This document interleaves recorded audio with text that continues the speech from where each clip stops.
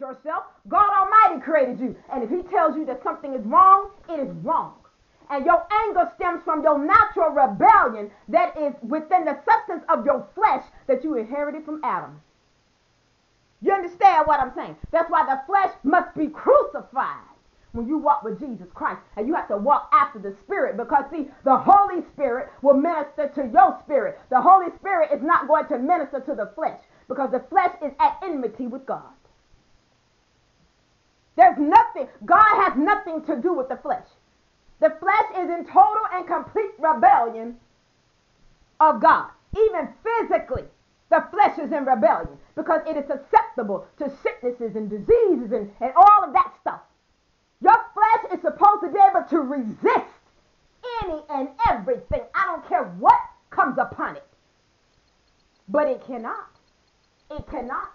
Because if you have a wound and somebody else has a wound and there's an opening to the body and they have um, a virus or they have some type of bacteria or they have and um, whatever is in their blood can attack what's in your blood. But your blood is supposed to be able to resist that, but it cannot. Because the flesh is in a fallen, debilitated state because of Adam. Adam made everybody susceptible to everything common colds, um, viruses that can take over the world, and, and, and everything. This is weak. It's weak in every way. It is symbolic of spiritual weakness, and in its physical state, it is weak as well.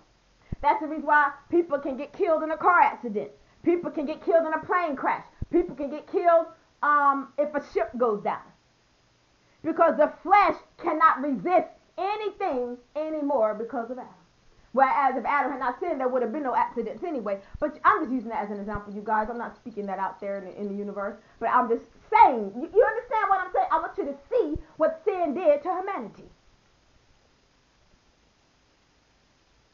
The Bible tells us in the book of James, chapter 4, verse 7 Submit yourselves therefore to God. Resist the devil, and he will flee from you.